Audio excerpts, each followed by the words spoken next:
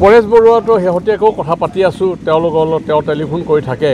কিন্তু কথা হ'ল কি তেওঁৰ লগত মানে সিদিনা মই সুধিছিলোঁ যে তেওঁৰ লগত চৰকাৰৰ তৰফৰ পৰা আনুষ্ঠানিকভাৱে কিবা যোগাযোগ কৰিছে নেকি?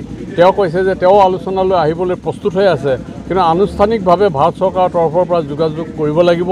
গতিকে মই আপোনালোকৰ মাধ্যমেদি অনুৰোধ জনাইছোঁ ভাৰত চৰকাৰে অন্ততঃ আনুষ্ঠানিকভাৱে পৰেশ বৰুৱাৰ লগত যোগাযোগ কৰি তেওঁক আলোচনা টেবুললৈ অনাৰ কাৰণে চেষ্টা কৰিব লাগে। বিধানসভাৰ নিৰ্বাচন আহি আছে। হয়।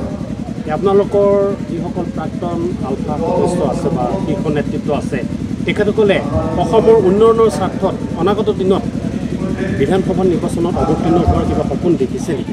না আমি আমাৰ আলফা যি সৰ্বোচ্চ নেতৃত্ব যি আছিল আমাৰ কোনো সৰ্বোচ্চ নেতৃত্বই এই ৰাজনীতিত অংশগ্ৰহণ নকৰে এই কথাটো ইতিমধ্যে তেওঁলোকে সিদ্ধান্ত গ্ৰহণ কৰিছে। আৰু কোনোবাই যদি ব্যক্তিগতভাৱে লয় তেতিয়াহ'লে সেইটো তেওঁলোকৰ ব্যক্তিগত কথা হ'ব। এই ক্ষেত্ৰত মানে মই জনাত যে আলফাৰ নেতৃত্বই নলয় আৰু কোনোবাই যদি নিম্ন পৰ্যায়ত লয় সেইটো কথা আমাৰ অৱগত নহয়। কিন্তু আমি এটা কথা ঠিক আমি কোনো দলক কোনো দলৰে সদস্য নহয় আমি ৰাজনৈতিক দলতো অংশ যোগদান নকৰোঁ। কিন্তু কথা হ'ল কি যি দলেই অসমৰ জাতীয় জীৱনৰ স্বাৰ্থত ভাল হ'ব বুলি ভাবোঁ আমি সেই দলকে সমৰ্থন জনাম।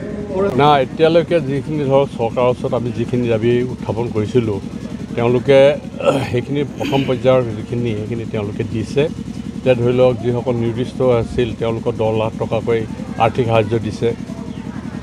তাৰপিছত আমাৰ সদস্যসকলকো সাত লাখ টকাকৈ দিছে। যিসকল নিৰ্যাতিত আছিল নিৰ্যাতিতা তেওঁলোককো পাঁচ লাখ টকাকৈ দিছে। তাৰপিছতে যিসকলৰ পংগুত্ব বৰণ কৰিছে পংগুত্ব বৰণ কৰা সকলকো তিনি লাখ টকাকৈ দিছে। গতিকে এইখিনিলৈকে বৰ্তমান ইতিবাচক দিশতে আগবাঢ়িছে। তাৰপিছতে কিন্তু আমাক অনুদান দিয়াৰ পিছতেই যিহেতু নিৰ্বাচন ঘোষণা কৰা হ'ল।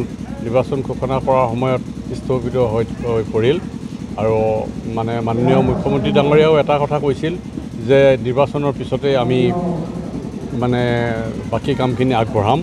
আৰু আমাৰ দৃঢ় বিশ্বাস আছে ডক্টৰ হিমন্ত বিশ্ব শৰ্মা ডাঙৰীয়াৰ ওপৰত তেওঁ যিহেতু আমাক প্ৰতিশ্ৰুতি দিছে বাকী কামখিনিও তেওঁ নেতৃত্বতেই যে আগুৱাই যাব এই কথাখিনি আমাৰ দৃঢ় বিশ্বাস আছে। ইতিমধ্যে আমাৰ দুটা শিবিৰত বিশেষকৈ কাকপথাৰ আৰু মৰাণ শিবিৰৰ যিখিনি ভূমি আছিল আমাৰ যিসকল সদস্য আছিল সেই সকলো সদস্যসকলৰ মাজত ডেৰ কঠাকৈ ভূমি মানে আবণ্টন দিছে সেই কাকপথাৰ আৰু মৰাণ শিবিৰৰ। বাকী যিবিলাক শিবিৰ আছিল সেইবিলাক শিবিৰ বিশেষকৈ মানে চৰকাৰী চৰণীয়া পথাৰত আছিল। চৰণীয়া পথাৰ আৰু ফৰেষ্ট লেণ্ডত থকা কাৰণে সেইবিলাক অনুদান দিব নোৱাৰে। আপোনালোকৰ একাংশ সহপাঠীয়ে এই শান্তি চুক্তিক লৈ সুধাৰ সমালোচনা আগবঢ়াই আছে। চাওক আমি এটা কথা কৈছোঁ তেওঁলোকে সমালোচনা কৰি আছে কিন্তু তেওঁলোকে জীৱনত কি কৰিলে? সমালোচনাৰ খাতিৰতে সমালোচনা কৰাটো উচিত নহয়। এতিয়া এটা কথা ঠিক ইয়াতে জিতেন দত্তই বিশেষকৈ সমালোচনা কৰি আছে। আমি দেখিছোঁ বিভিন্ন প্ৰচাৰ মাধ্যমৰ জৰিয়তে। কিন্তু জিতেন দত্তৰ অৱদান কি আছিল বা তেওঁ কি কৰি আছে?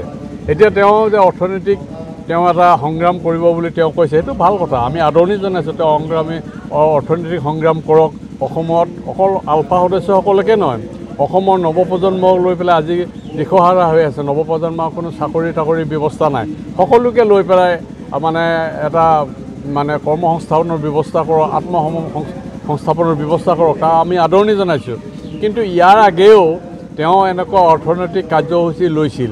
সেই কাৰ্যসূচীবিলাক তেওঁ কি হ'ল তেওঁ সফল হ'ল নে নহ'ল? সেই কথাখিনি ৰাইজৰ আগত ক'লেই ৰাইজে গম পাব। তেওঁ সফল হ'বলৈ পাইছে নোৱাৰিছে। কাৰণ এটা কথা ঠিক কথা আৰু কাম কথা কোৱাটো সহজ কিন্তু কাম কৰাটো কঠিন। অসমীয়া জাতিটো ক্ৰমাৎ কৰ্মবিমুখ হৈ হয়। সংখ্যালঘুলৈ পৰিৱৰ্তন হ'বলৈ গৈ আছে। হয়। আপোনালোকৰ ভূমিকা অদূৰ ভৱিষ্যতে কেনেকুৱা হ'ব? সেইটো কাৰণেই আমি মানে অৰ্থনৈতিক বিকাশৰ কাৰণে আমি চিন্তা কৰিছোঁ।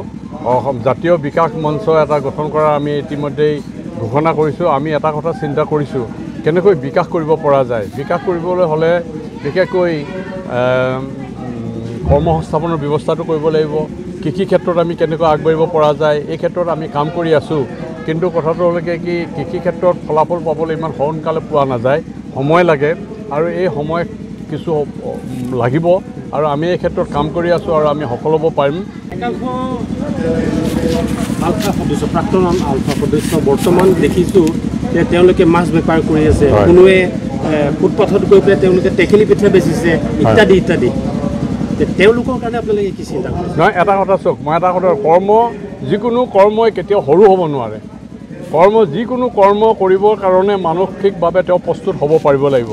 আজি গুৱাহাটী চহৰত আপুনি দেখক ফুটপাথৰ ব্যৱসায়ী সকলোবিলাক ব্যৱসায়ী যি যিসকলক আমি মিয়া বুলি কওঁ মিয়াৰ দখললৈ গুচি গৈছে। কিয় আমাৰ ল'ৰা ছোৱালীয়ে লগ কৰিব নোৱাৰেনে সেইবিলাক? ফুটপাথত ফল মূল বিক্ৰী কৰক অন্যান্য বিক্ৰী কৰক। আমিতো অসমীয়া ল'ৰা ছোৱালীৰ পৰাহে আমি বস্তু বাহানি লওঁ। অসমৰ মানে অসমীয়া মানুহৰ পৰাই ল'ব যদি থাকে। গতিকে লাজ মান কাটি নকৰি আমাৰ ল'ৰাইও আগবাঢ়ি যায়। এইটো ব্যৱসায়। এইটো লাজ কৰিব নালাগে। ব্যৱসায় যিকোনো সৰু সৰু ব্যৱসায় ভিত্তিক এই মানসিকতা লৈ আগবাঢ়ি আহিব লাগিব।